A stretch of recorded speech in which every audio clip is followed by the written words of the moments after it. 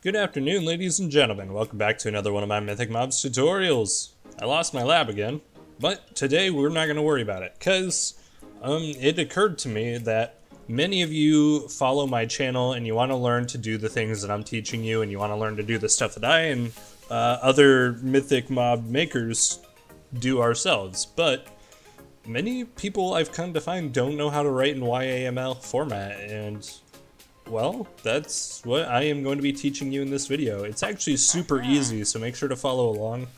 Uh, I'm not going to do a thing where I talk about it and, you know, expect you to do it, like, afterwards. I'm going to demonstrate it to you guys, so, you know, no boring videos that way, hopefully, anyway. So make sure to just go ahead and follow along, and we're going to, uh, we're going to roll on into it. So the first thing you're going to need is a YML file. Now, I'm going to let you know computers or like excuse me, Windows 10 by default cannot start off with YML files. So if you're like me and you're running a local server, um, I use Notepad++, the, uh, the editing program. I'll have a link to that in the description for you guys. It's super, super duper easy and convenient, and it actually looks very nice. So, um, yeah, I recommend starting with getting Notepad++ before advancing any further into this video. Once you have that, we're going to need to set up our files. Now, how are we going to do this? I will show you. So first, you're going to need to find your Mythic Mobs folder. It's going to be inside your plugins folder. We're going to go ahead and just go into the mobs for now. As you can see, I have quite a lot of mobs going on right now, but we're going to make a new file. It's going to be a text document. Here, I'm going to type it in, YAML mob. So as you can see here, it still says .txt. To fix that, you're going to go over to the end of txt, delete it, and then type in YML. Whenever you press enter, you're going to get a warning message saying if you change a file extension, it might become unusable. You don't have to worry about this because we're running it in Minecraft, and Minecraft runs on YML, so it will still be usable. Do not worry about this. All you're going to do is press yes. Perfect. So now we're going to go into our mob file. Now to start off, we need to have our mob name. So I'm going to go ahead and type this here. Mob name goes here. And I'm gonna put a comment in front of it. To make it a comment and to disable it, you're gonna throw a hashtag in front of it, like that. As you can see, when you're in Notepad++, it will turn green, meaning it is not enabled. So with that being said, I'm gonna go ahead and make a mob name. Here, we're gonna go ahead and make our mob, and we're just gonna call him Bruiser, because, I don't know, I have melee stuff on my mind. So once you make your mob name, you're going to want to add a colon to it. When you do, you will see your text turn blue, and that's how you know that it is reading it as the first line, and that it is working properly. Next is where you're going to add all your mob options. I'm only going to add a few, however, if you want to see more options that are available to you, make sure to go on and check my Getting Started tutorial series. I go over a lot in there, and there's a lot more options and stuff you can learn from there than you will in this tutorial. So next we're to need type, or, our, sorry, our mob type. So in order, or one thing I want to explain to you is whenever you're making a file in YML, in order to make everything fall under our mob, you need to add spaces in front of it. So we're to throw in two spaces. You'll know this worked because you will see a red box appear with this minus sign in it. When we click on that, it'll turn into a plus sign and everything will be hidden. To show this further, we're going to go ahead and type in more stuff. Now one thing I want you to remember, we put two spaces here. So space, space, let me get rid of those two. Then we're going to put type. Make sure this is capitalized. Every new line needs to start off capitalized if it's going to have subsections. Next, we're going to go ahead and type in zombie. Okay, so now we have our typical mob. Make sure to go ahead and save it from here. After that, we're going to add a display.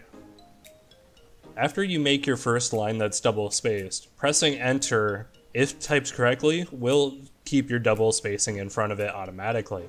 It's very convenient for when you're typing on like um, when you're like in the flow of things and you're typing stuff out and you want to just keep it going. It will automatically throw in the extra spaces for you so long as you're not on line one. If I were to type in like bruiser friend, I guess. As you can see, when I press enter, it goes back to line one.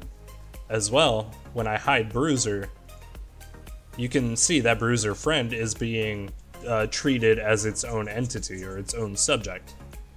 Anything that's double spaced will fall under bruiser, and anything double spaced after this will fall under bruiser friend. But let's go ahead and get rid of this for now. So we're gonna press enter here, and we're gonna add our display name and a couple other options. Okay, so now that we added some basic mob or mob setup, we're gonna add a new thing called options. This is where things are gonna change a little bit. So with everything above, we're gonna type in options. We're gonna press enter, and you'll see that we are two spaces from the beginning or the left side of the page. But for YAML format, all of our options are going to be defined under options. I know that sounds redundant, but you'll understand as we type it out. So, in order to get this to work correctly, we're going to have to space two more times. So as you can see, options gets its own red box now. So when we minimize it, everything within that will disappear. But if we minimize this, everything else will disappear. That's how you know it's working correctly. So here we're going to type in prevent sunburn colon space true.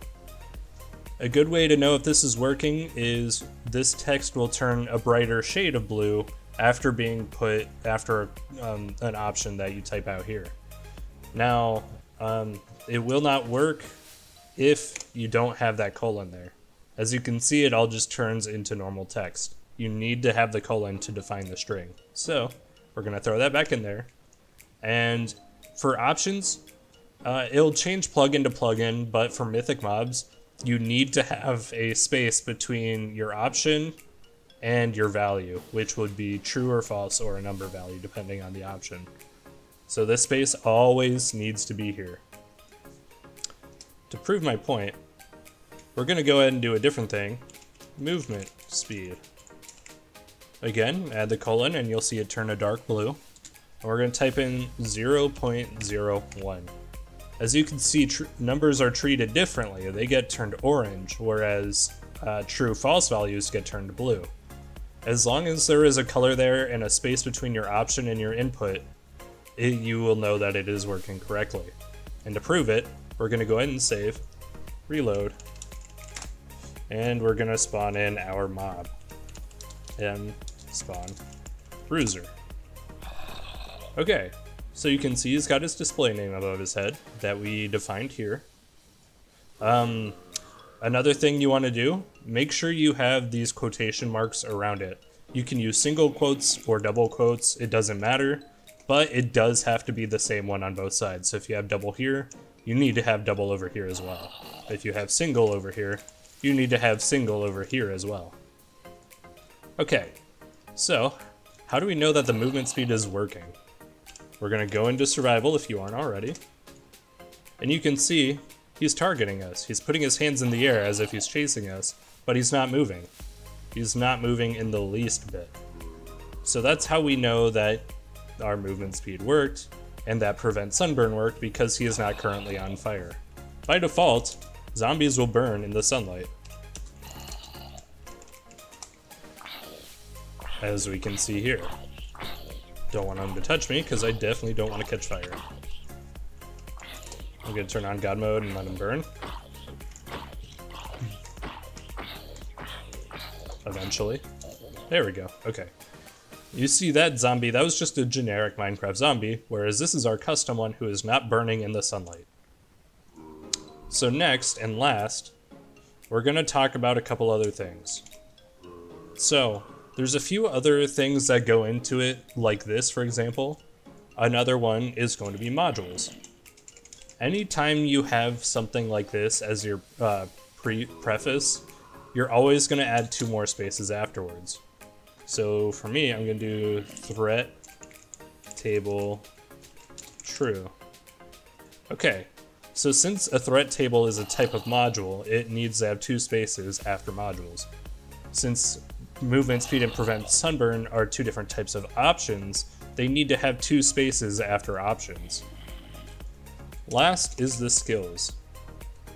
Like all of our things above, skills is going to be only two spaces from the side of the page.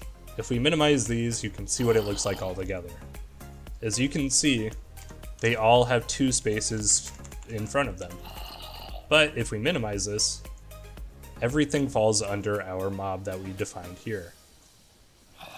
So for skills, it's going to be a little bit different. The only thing that's going to change is we are going to add a dash or a hyphen and then space, or sorry, space. So we have our space here, our two spaces here, and our hyphen here, where our normal text would start. After you have the double space hyphen space, then you can go ahead and type out a, um, a mechanic. So what we're gonna do, we're gonna have a we're gonna have fun with this one. So we're gonna type out velocity x equals zero, y equals 0.5, z equals zero. So one thing I want to go ahead and emphasize now is in order for a mechanic to have input, you need to add the curly brackets because that is how it is read in YAML format. You cannot use the square brackets and you cannot use the parentheses. You specifically need the curly brackets. So after that, uh, each mechanic is going to have a different set of input values. For velocity, you just have your x, y, and z values for moving. I'm going to back away because that's kind of annoying. Okay, so you're going to have your x, y, and z values for uh, velocity. And like I said, every mechanic has its own values, so make sure to read the manual and check and see what they are. For example, damage would not have X, Y, and Z because it is not a movement-based ability. So instead, it'll have options like amount or prevent knockback. It all depends on what you're trying to do, but it's all going to work the same. You type your skill, and then you're going to have curly brackets.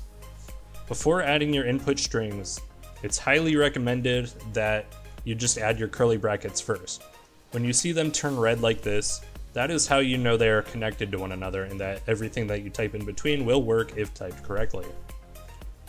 So, one more thing, and finally, what I want to go ahead and do is show you. Notice how each of these have a semicolon in between. There are going to be some mechanics that do things slightly different, however, for the most part, every time you add a new option to your mechanic, such as y equals 0.5, you're gonna add a, semi, a semicolon in between each option. This is going to space them apart and the file will be able to read them as their own individual things. If you do not add this, it will not work. This will not work, and commas will not work. You need to have the semicolon. Now again, I will say there are some mechanics that are different. I don't currently have any in mind, uh, but there are some that do use commas for multiple strings and then a semicolon afterwards. You just have to check the manual and see how the mechanic is set up, but for the most part, this will be your general layout. After that, you're gonna type in a space, and then you're gonna do at some at, at your targeter. I'm gonna do at self, so it targets itself. But you always need to do this in this order. So mechanic, space, targeter, space, trigger. I'm gonna go ahead and do on interact. If I can type correctly. On interact. So we're gonna go ahead and save, and we're gonna reload. Ah, wow, MM, reload. Okay, so now if we walk up to our mob and right click him, which is what on interact means, he should fly up in the air. Or hop. I guess I guess the velocity wasn't as high as I thought it'd be. But as you can see, everything is working now the way we defined it. So pretty much that's uh, that's how you are going to type in YAML format. And the same goes for skills. before I end the video, I'm actually going to go ahead and go on into that. So we're going to type in a new skill here. So uh, everything that we did here, we're going to do here as well. So skill s equals bunny hop at self on interact. Next, we're just going to go ahead and copy this and delete it. Now we're going to need to make a new skill file. Again, to reiterate, you're going to go into your Mythic Mobs folder, go to Skills, and you're going to make a new text document. Here we're going to go ahead and call it YAML mob skills dot YML. You'll get the warning, just go ahead and press yes, and it'll change the file type. Okay, so now we have our skill here. So what we're gonna do, just like our mob, you need to start off um, at the very edge of the page and type out your skill name. Add the colon, press enter, and then double space for everything afterwards. So skills. And now we can go ahead and paste in our command string that we added before at self on uh, her velocity. Now, since it's in a skill file now and it's targeting itself on interact, you can delete that from the skill file. Once you have that going, you can go ahead and save and reload. I just want to emphasize again here, notice how skills in the velocity skill line both have two spaces after it for, uh, for the bunny hop skill. That's how it's going to be, and as you can tell, it's very similar to, to this. Type, display, health, damage all fall under Bruiser. Skills and velocity and anything else you add will fall under Bunny Hop. Until, of course, you make a, uh, a new line. Reptile Hop, I guess. I don't know. So if we minimize this, you can see Reptile Hop does not get minimized with it because it is now its own skill. So we're to go ahead and save. Uh, reload. We're gonna spawn him in again. Oh boy, I don't remember. Oh, I called him Bruiser, that's right. Okay, and as you can see, still working exactly like he was before we, we changed him up. So, that's uh, that's how you write in YAML format. Let me go and kill him off here. Alright, I hope this tutorial helped you guys a lot. If, uh, if you have any questions, make sure to hop on over to my Discord channel. Link will be in the description below. Uh, you know, make sure to join it, check it out. There's always community discussion going on there. A lot of stuff that you can learn. There's a lot of public questions, public answers. Uh, there's just so much going on, so make sure to go and check on, uh, go over and check that out. Make sure to just uh, subscribe for more future content and tutorials that'll be coming out. I do not plan to stop anytime soon, and Mythic Mobs is like updating way faster than I can even make tutorials for, so you know I will be at this for quite a while. So make sure to just uh, subscribe for more future content. Thank you guys so much for watching, and I can't wait to see what you come up with in the future.